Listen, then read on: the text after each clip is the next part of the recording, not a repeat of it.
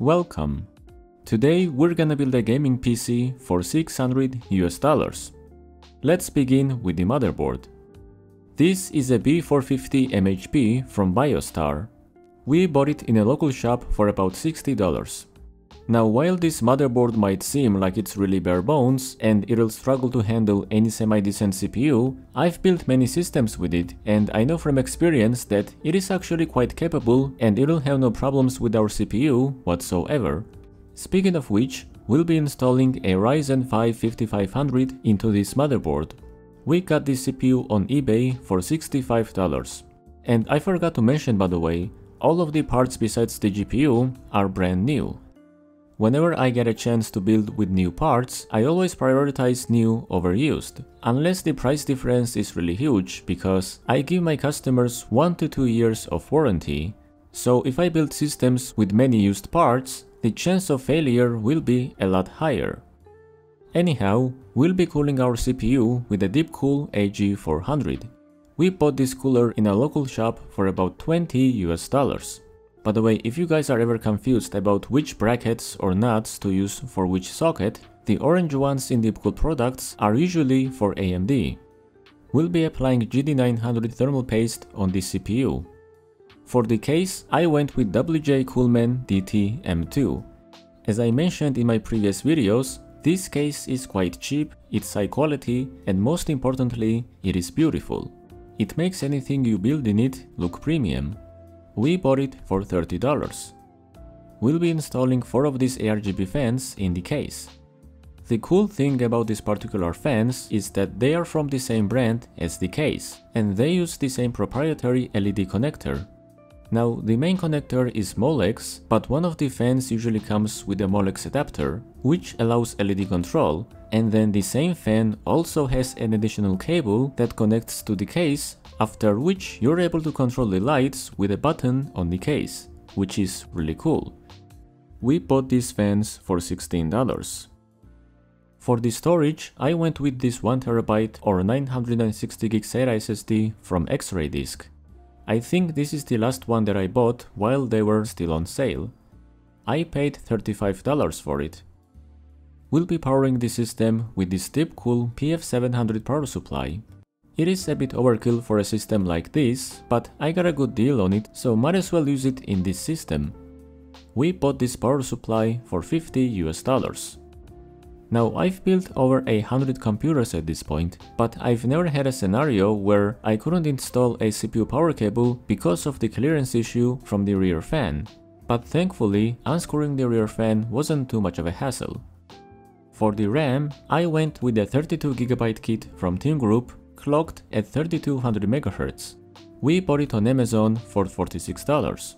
And I know that I could have gone with something much better, but this particular motherboard likes this kit the most, meaning that we get the fastest boot times and a flawless gaming experience.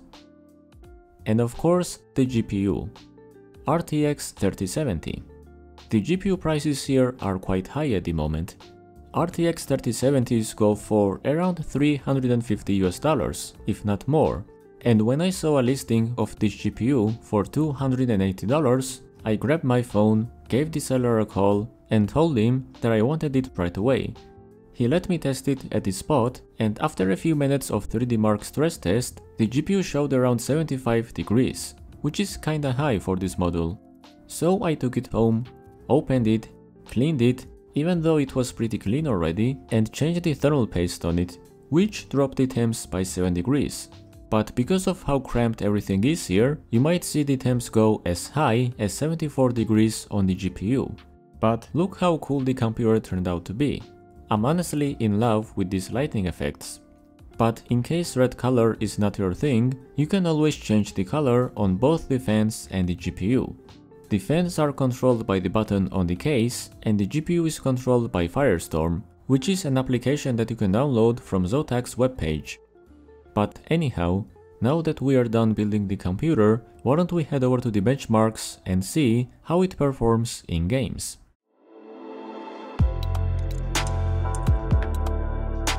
Let's begin with CS2.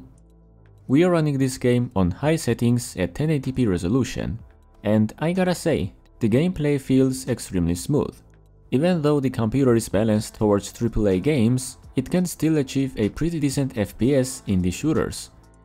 After playing the deathmatch for about few minutes, we achieved a solid 174 FPS on average. Forza Horizon 5 Now here I was pretty certain that I wouldn't be able to run this game on the extreme settings with extreme ray tracing, but apparently this system is more than capable of running it at 80 plus FPS without any sort of upscaling at 1080p resolution. I kinda expected a few stutters, considering that we only have 8 gigs of VRAM and we have everything maxed out. But I guess the game is pretty well utilized, so that won't be an issue for us today. In the end, we achieved 84 FPS in this built-in benchmark. Doom Eternal This game runs pretty well on pretty much any hardware, mainly because of how well utilized it is. So I went in with high expectations. I set the graphics on Ultra Nightmare, which is the highest settings here, and jumped straight into the battle. And I gotta say, I did not get disappointed. The game was basically flawless. The FPS stayed above 200 at all times and it even went into low 300s when there wasn't much going on in the game. On average, we achieved around 270 FPS. Hogwarts Legacy here I set the graphics on Ultra at 1080p resolution. Now I could have enabled ray tracing as well, but I chose not to do so because the game already looks and feels amazing without it. Besides, it is a really action intensive game and it just felt like I was benefiting more from the higher FPS rather than cool graphics. But don't get me wrong, ray tracing is cool and I always enable it if the hardware allows me to, but in this case 50 to 60 FPS wasn't as enjoyable as 80 to 100 FPS without it. On average, we achieved around 87 FPS. Red Dead Redemption 2 Here I chose the highest preset and went into the built-in benchmark. At first I was kinda worried that we were gonna get less than 60 FPS, but apparently I was very wrong. The FPS stayed above 80 at all times, and sometimes it even went into hundreds. On average, we achieved a solid 98 FPS. Cyberpunk will be our last game for today's benchmarks. We're running it on Psycho settings at 1080p resolution. Now here, I was expecting a bit more if I'm being completely honest, but I guess the game is a lot more demanding on the CPU than I expected, especially on the higher settings. Because if we take a look at how much of our GPU and CPU is being used by the game, we'll notice that we are actually being bottlenecked by the CPU. In this case, I would normally recommend lowering the crowd density, or literally any other setting that has a big effect on the CPU usage. But I kept everything fully maxed out anyway, because I wanted to know whether or not it was actually playable. Which it was. And yes, the FPS went into 50s at times, but it honestly didn't bother me too much. While driving on the highway, we averaged around 70 FPS, but once we went into really crowded areas, that average dropped to low 60s. So depending on how high of an FPS you want in this game, you can either lower the crowd density or you could leave it as is, it's honestly up to you. Overall, I'm really satisfied with the results. Minus the Cyberpunk one I guess. But if you enjoy playing games like Forza Horizon 5, Doom Eternal or any other game that is not that demanding on the CPU, you'll honestly have a great time. I mean, you could have a great time in Cyberpunk as well, but you would have to make a few compromises to achieve that 60 plus FPS at 1080p resolution on the highest settings. Now, if you want a game at 1440p instead, it'll be a different scenario, of course you're gonna have a bit less FPS, but the stress will shift towards the GPU a bit more, which means that we're gonna have even less of a bottleneck on the CPU, or ideally no bottleneck at all. I personally see this more like a 1440p gaming PC rather than 1080p. But tell me what you think. Is this more of a 1080p or a 1440p gaming PC? On that note, let's wrap up this video.